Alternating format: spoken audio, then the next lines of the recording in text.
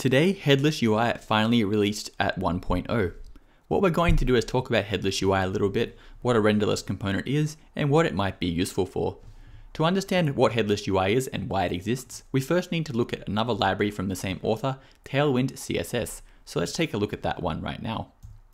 If you haven't heard of Tailwind, it's getting very popular lately. Basically, it's a bunch of CSS utilities. For example, you can see here, they created this really cool card component, and what they did was write no styling, they just used classes for everything. At first, this looks very complicated and difficult to understand and read, but I've started using it a bit, and it's pretty nice to work with. You're able to make pretty nice things with very little code.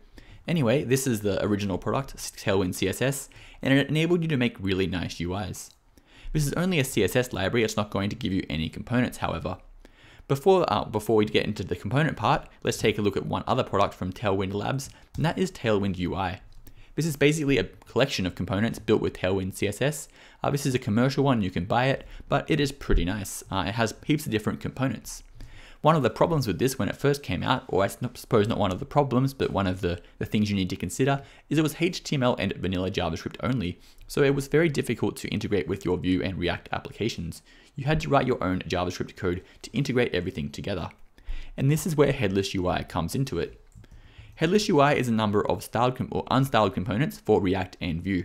So you get completely unstyled components. Why would you want unstyled components? Well, the point of this is so you can then integrate it more easily with things like Tailwind CSS. And what this has done is enabled Tailwind UI to release both Vue and React integration. What we're going to do now is take a look at those and see how you can use them to create your own components very easily. So the first thing we're going to do is take a look at this diagram to understand this better. The bottom level is going to be your, your headless UI. So you're going to have these components, but they're not going to have any styling. It's just going to be logic. For example, when the component should display and how things should be handled. On top of that, we're going to have Tailwind CSS. It's going to be all those classes to make everything look nice. And finally, you can have the commercial product if you're interested, Tailwind UI, which is just a, a big collection of styled components using Tailwind CSS. So what I did was set up a little basic project just to show you how this all works. So over here on the left, you can see we have a completely unstyled component. This is a headless component. And it is a menu. it's not a very good looking menu. And as promised, there is no styles. Let's take a look at the code and see how this works and see how everything is going to work together.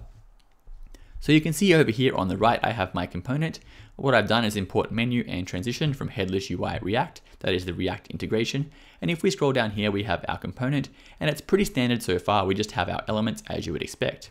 And here's kind of a trick with renderless components. We're going to have this function here, and it's going to give us access to any of the internal values from the, from the menu component, in this case, whether it is open or not. We then head down here and use the menu button component. Again, these are all provided by the headless UI library. And if you are going to use the menu, you need to make sure you compose it together using menu buttons and menu items.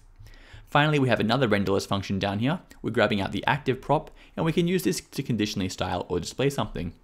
You can see I'm not using it at all, everything is just displayed here, and it's not very clear which of these is selected. So let's go ahead and take a look now at the styled version.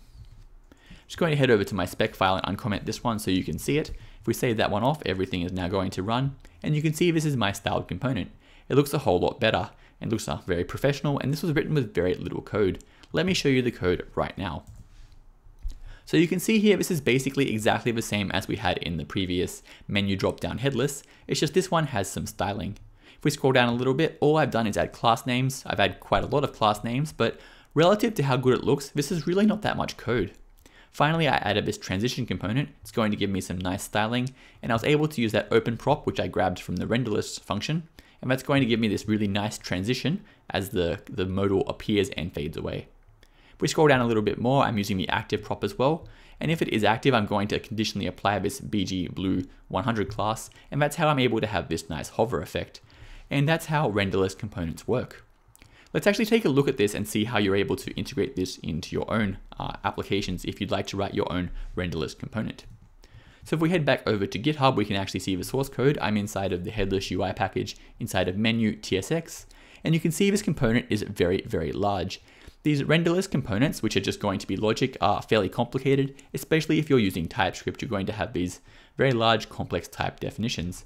Anyway, if we scroll down a long way, uh, you need to know React very well to be able to read this, but luckily you're going to be integrating, you don't really need to know how the code works. we can see the magic down the bottom here. Instead of returning a JSX element like you normally would, we're returning this render function. This render function is actually some kind of utility they've written. It doesn't really matter how much or how it works, but the point is they're passing in this object of options, and that's going to be accessible to us in our component. If we head back to our source code, this function here, the render function, is going to be what we receive here. We're going to then uh, grab it, extract out all of the props that we need, for example active, and then we return our component. So this element is then going to be returned by render, and it's kind of going to be returned as the render function for this component. So that's why this pattern is often known as render as a function. You can actually pass in your own render function from a different component. So you're able to easily reuse your logic. This does work exactly the same in Vue, and that's what we're going to be seeing in just a moment. But this is the main premise of renderless components and the kind of goal of headless UI. Obviously, in this particular use case, headless UI is built for the, the Tailwind CSS libraries, but you could easily use it to build your own as well if you would like. And this is a pretty nice abstraction. For example, if you look at any of the really popular libraries like Material UI or Vuetify or any of them, they've basically all gone ahead and re-implemented something very similar to what you see over here in the GitHub source code. They have different implementations, but they're all doing very similar things. And by using something like Headless UI, you're going to be able to have a kind of solid base to build on top of for your React and Vue component systems. Anyway, now that we've seen the React integration, I think it's worth seeing the Vue integration as well. So I'm just going to go ahead and start that one up now. Just while we wait for that one to start, I'm going to show you the code just to save a little bit of time. You can see over here I have my Vue component, and again it's going to be very similar. We're using the components exposed by the headless UI uh, library. In this case we have list box and list button. If I scroll down a little bit more, we have list options and list option, and that's how we're going to build our nice little list. Finally, if we scroll down a little bit more, we can see these are coming from Headless UI's Vue integration, and that's pretty much all we need to do. The trick here to get the props from internal values is going to be this V slot, and this is exactly the same idea as what we saw before. It's going to give us an object which we can destructure, uh, we're going to, going to grab the active and selected values, and this is literally the exact same pattern you see inside of React over here. So it is kind of interesting to see how two libraries accomplish uh, basically the same thing. I'll just go ahead and show you what I built. I think it looks pretty good. Just give it a moment to start up and there we go. So I built this really cool list component here. It looks really good and I hardly had to write any code. All I had to do was import a few of those elements and then go ahead and add my own classes like this.